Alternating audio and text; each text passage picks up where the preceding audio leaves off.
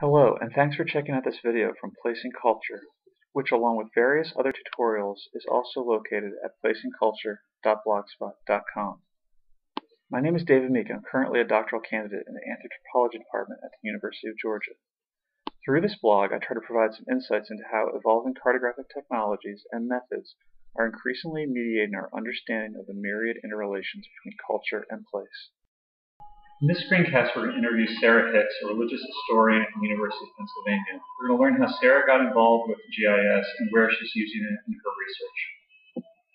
In addition to Sarah's interview, we'll provide an overview of the process of making the map. It won't be a really detailed description of the step-by-step, but we're going to cover those steps in later screencasts.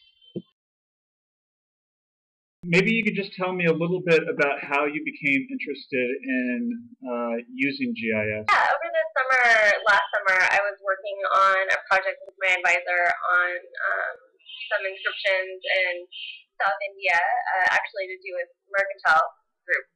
And he really wanted to map them and try to look at the spatial relationships between different mercantile communities. The problem was neither of us knew anything about matching. so we had this idea of sort of like, you know, using and then Photoshop and then come to find out, of course, there's, you know, a whole body of software and all of this, um, all of these different tools to, you know, do exactly that kind of project. Okay, cool. So I work on uh, Jainism and early Karnataka, and my research is really focused around how Jainism, which today is a minority religion, a very very small minority in India, became basically a dominant, the dominant religious community um, during the medieval and early medieval period in South India and in particular Karnataka. And one of the major marks of medieval Jainism is the development of these religious institutions called mutts. Okay, so a mutt is a basically a religious center. It will have a temple.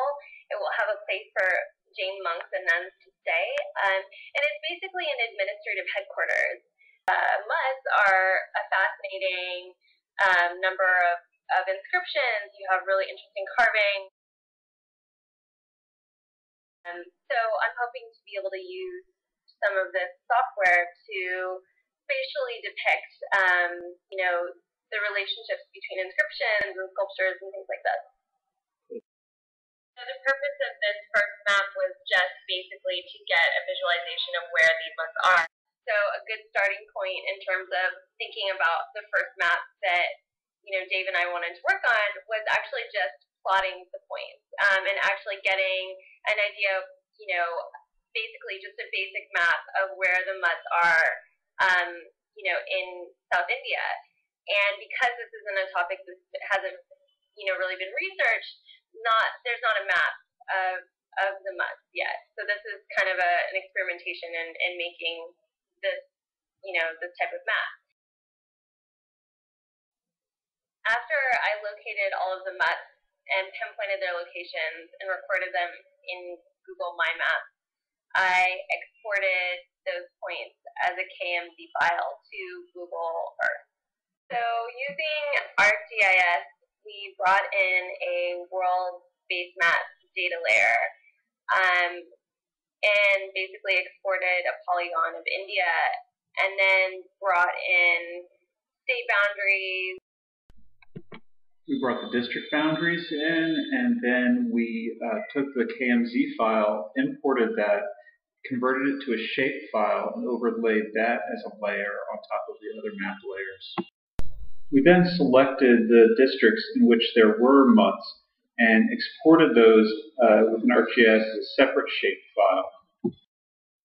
After adding the shapefile of the districts in which there were mutts, we played around with the symbology a little bit uh, to highlight those districts and then change the back the country color so that those districts stood out. With all the data layers in place, we started creating the map in ArcGIS and just started adding in the features that we wanted, adding in the names, uh, changing symbology to highlight certain features the type of project that I'm doing really is, you know, multidisciplinary. It's social science, but it's also a pretty strong humanities project.